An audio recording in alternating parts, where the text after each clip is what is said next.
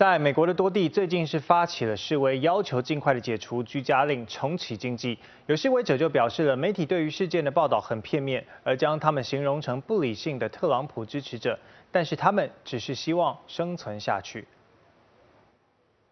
The new models show if people don't go back to work, death is imminent. You can't eat, you can't live.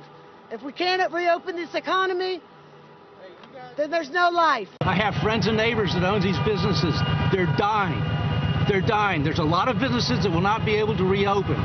密歇根、亚利桑那等多州的民众近日发起示威，要求解除封锁、重启经济。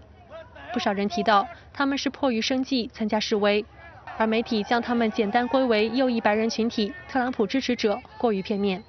俄罗斯 RT 电视台就此采访了墨西哥裔专栏作家纳瓦雷特，他目前为《华盛顿邮报》等媒体供稿。纳瓦雷特表示，很多抗议活动针对民主党州长的限制措施，示威者的政见也与特朗普支持者有很大重合。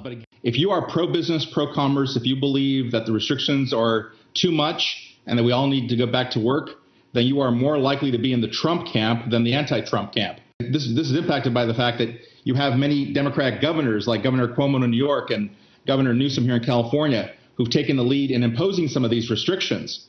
So it does kind of become a blue and red issue in that regard.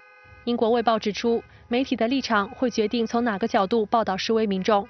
偏保守的媒体会更强调示威者的草根性，而忽略示威活动的资金来源和组织性。自由派媒体则相反。 例如报道，美国现任教育部长德沃斯的家庭长期以来资助右翼政治活动。凤凰卫视综合报道。更多精彩内容尽在凤凰秀 APP。